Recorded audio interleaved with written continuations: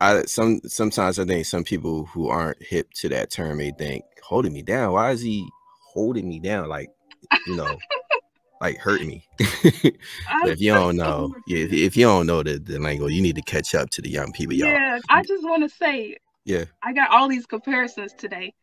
She sounds a lot like um, what's her name? Dej Dej Loaf.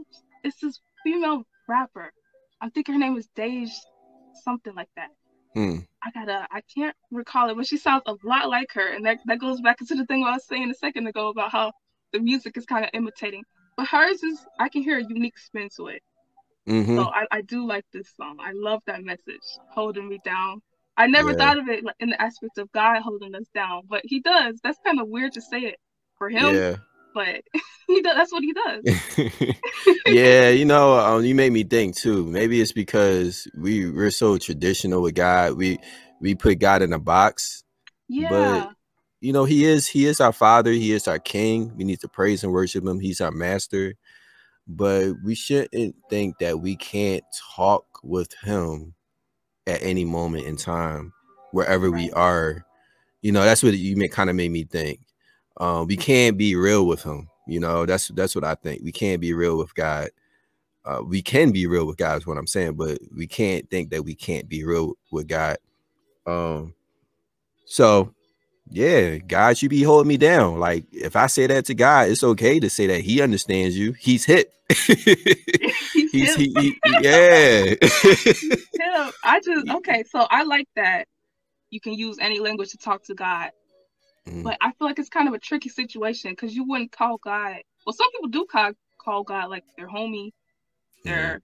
this and that. It's certain. I don't know. I feel like there should be a certain level of higher authority and respect. So some language yeah. I don't like using with them, but he is hip, like you said. So yeah. it's like, where do you draw the line?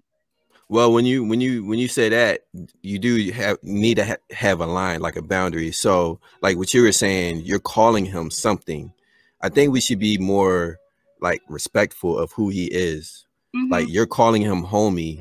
He knows what your heart is when you say that. So maybe you shouldn't say homie like as if he's like at a low standard because homie could be like yeah. a low.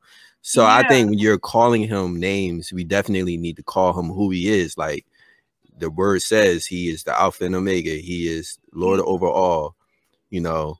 But I think when you're saying stuff like, God, you you know, um, like holding me down or like what, what he's doing that could be like a slang i don't feel like there's anything wrong with that because he knows what we were talking about. It's not like we're calling him you know um, something that that resembles something low.